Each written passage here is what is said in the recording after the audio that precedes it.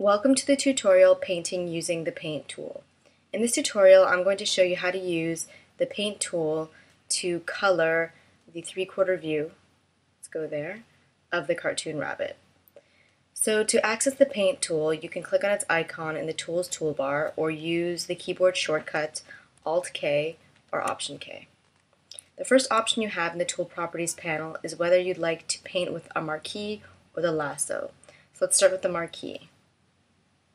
So if we choose the skin color swatch from the uh, color panel and click on the leg here, we see that it fills right away. But then let's say we'd like to color the outline from black to this dark mustard color. So we'd have to click on it a second time. So the marquee is good for precision like that. However, if you want to paint something quickly, say we'd like to color the line and this empty fill in at the same time, often the lasso works better because you can paint both in one sweep, like that. The second options you have are the various paint modes. So by default, you're on the first, which is just paint. Um, so let's just paint this in. The second mode you have is paint unpainted. So here, if we choose a different color, say pink, this tool will allow you to paint in just the zones that are empty. So this black line, which is already painted, and this yellow leg will be unaffected as you make big sweeps across like that. So as you see, these remained black, yellow, and just the unpainted zone became pink. So the next mode is the repaint mode. And this sort of does the opposite of the paint unpainted mode. The repaint allows you to just repaint zones that already have color, but will leave zones that are empty, empty. So let's maybe select the blue here. And if we make another sweep across, we'll see anything with paint in it got repainted to blue, so the black lines, the pink, and the yellow. However, these zones that are unpainted remained unpainted. The last mode is the unpaint mode. And this mode will unpaint, once again, um, zones that have color in them, like this. So all the black lines disappeared um, as well, or you could just make a simple selection like that to unpaint um, just a single zone. So let's go back to the regular paint mode. The next option I'd like to show you is the close gap option. It's this button here. If you click on it, you'll see that you have four options. No close gap, close small gap, close medium gap, and close large gap. By default, it's set to no close gap. So if we reset the view here by clicking on Shift M, and we take a look at the rabbit, just at a quick glance, it looks like all the lines are solid, um, of the rabbit contour. They're all attached and that there are no gaps or spaces. But then if we select the skin swatch from the color panel and try to paint this leg of the rabbit, we'll see that not, nothing is happening. And this might happen to you as you paint. So if we zoom in and take a look, we'll see why. It's because there's a small gap in the leg.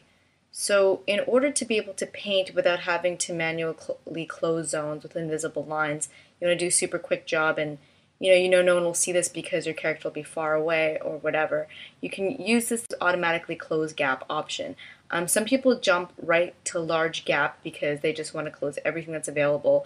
However, if you want to have if you want to have a limit for how big you will allow a gap to be without it having a black line to close it, you might want to just start with small and see if that works. So in this case, close small gap worked. Um, one thing that's kind of funny about Animate Pro is that, an Animate, is sometimes the zooming makes a difference. Sometimes, let's, let's undo this. Um, if you're zoomed in like this, the computer might consider this a big gap, whereas if you're zoomed out, it'll consider it a small gap. So right now we're still in the close small gap mode um, and we'll try to paint this and you'll see it's not painting and that's because now this is considered quite a large gap because you're zoomed in so much so you really have to zoom out a bit before the computer will consider this a small gap. So it's sort of just a little funny quirk uh, that the software has. So the next thing I'd like to show you is the um, apply to multiple drawings option. What I'm going to do actually is I think I'm going to unpaint this leg here and turn on the onion skin.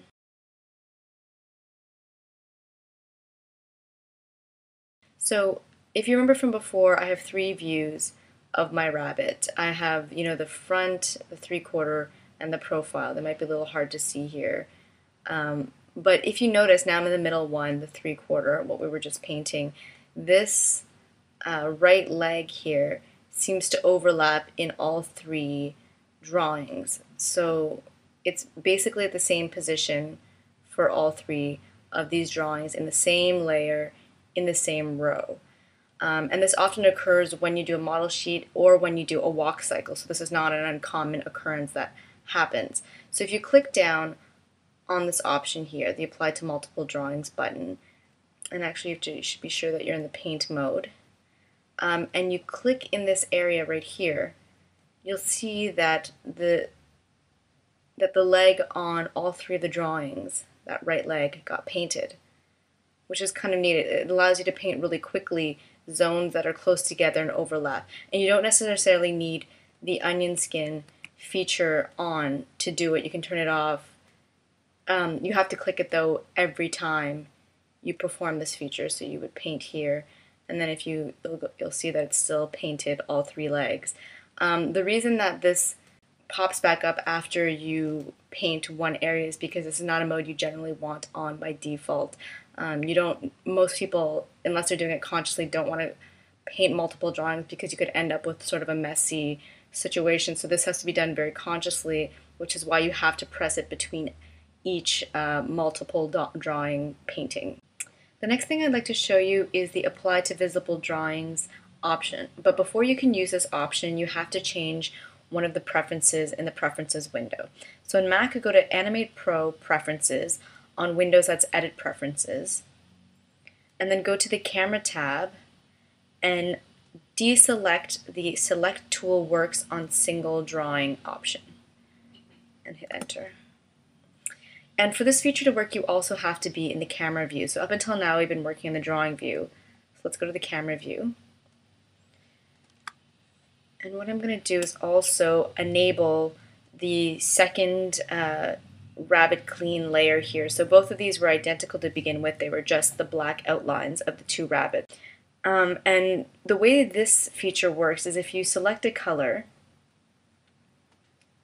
and uh, well, let's make it the actual robe color, um, and you'd like to paint down the stack, the layer, the layer order stack here, on the same frame, you can select this option and it works um, like the paint multiple drawings option in that you have to press it between every paint uh, action that you perform.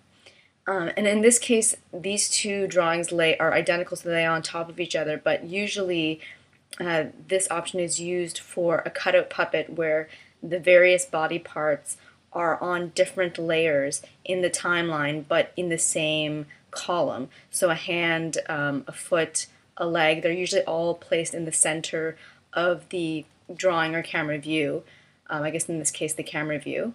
And you'd like to paint all of them the same color all the way down the stack. And actually, it's called applied to all visible drawings because if you uncheck some of them to make them not visible in the camera view, um, it'll it won't paint those layers, which is perfect. So if you're doing an article of clothing all the way down, you might uncheck anything with skin color, um, and then if you're doing skin color, you can uncheck everything with clothing. It'll paint down the stack very quickly.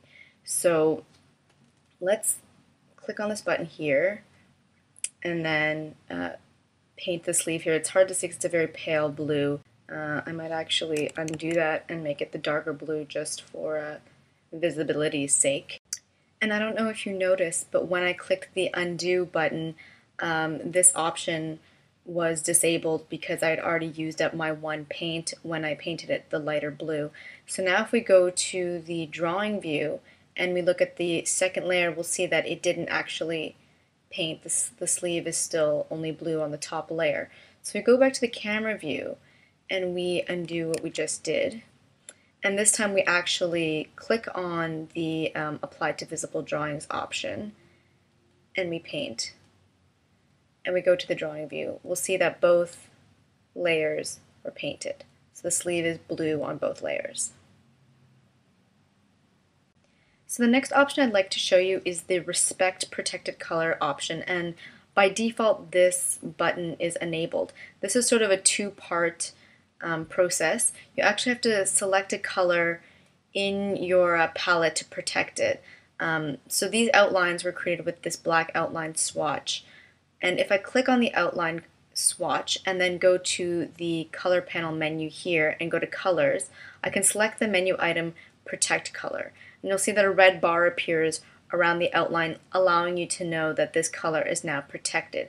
So now whenever I change any of the painting modes, say I'd like to repaint uh, this yellow here, if I actually sweep across, you'll see that only the blue was repainted, but the black wasn't. Normally when this is disabled, let's undo this, it'll paint both. And we can see this by unclicking this option and then repainting. And now both the lines and the fill have been repainted. And you can do that for multiple swatches, and this will turn off multiple protected colored swatches. So the last thing I'd like to show you is the repaint brush mode. And this is a property of the brush tool and not the paint tool. So I'm going to click on that. And in the tool properties panel for the brush, it's the third icon here, repaint brush. So I'm going to click on that. And then I'm going to select uh, the nose outline color here. So if I sweep across this tail, which has a painted zone, which is the black outline, and an unpainted zone, which is the fill of the tail, you'll see that having this mode on allows you to repaint painted zones and leave unpainted zones untouched. So let's undo that. And obviously from the regular brush mode, the opposite of that would be to paint over everything. Um, something else that's kind of neat, if you actually put the um, respect protected color option back on, and then choose a light color, and then go back to the paintbrush tool, Actually, I could have um, re-enabled the uh, respect protected color from the brush panel because that option in the brush and the paint uh, tool are linked.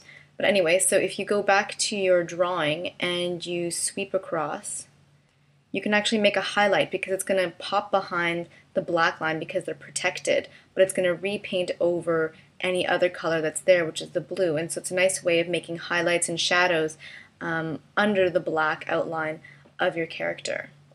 So there's only one more thing I'd like to show you. Um, I have to go back to the paint tool mode and it's something I just forgot to do while uh, showing you the, the different paint modes. So if you remember here there's the unpaint button um, but actually if you use the center button of your mouse which is usually a scrolling button and you click down you can actually unpaint um, your drawing as well, and you can't see it here because we have uh, we had both these layers selected.